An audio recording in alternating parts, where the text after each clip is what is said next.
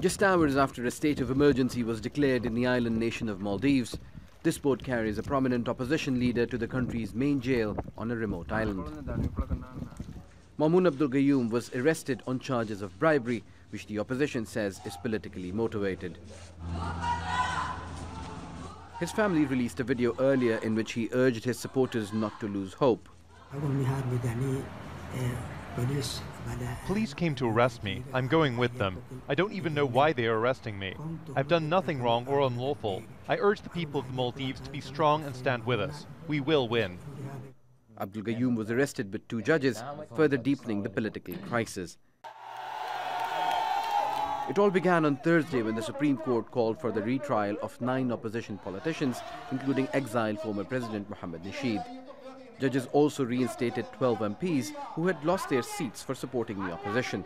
But President Abdulla Yameen refused to comply with the ruling and celebrations turned into protests.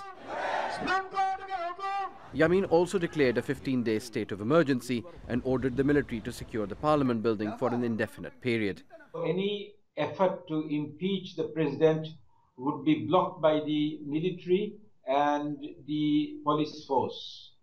So the parliament cannot function and the Supreme Court cannot function at the moment. In addition to the two judges, police raided the house of the administrative head of the Supreme Court. The court says police didn't have enough evidence to arrest the judicial executive. President Yameen, who happens to be the half-brother of arrested leader Abdul Gayoom, came to power in 2013. That was a year after Maldivian police and army overthrew President Mohamed Nasheed. But in a shaky democracy, President Yameen has also faced similar allegations of becoming authoritarian and being corrupt. The Supreme Court was expected to rule favorably on a petition to impeach Yameen.